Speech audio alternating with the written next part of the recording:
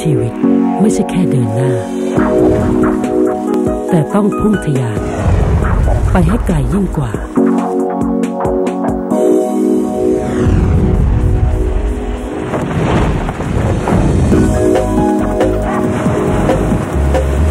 โดดเด่นยิ่งกว่า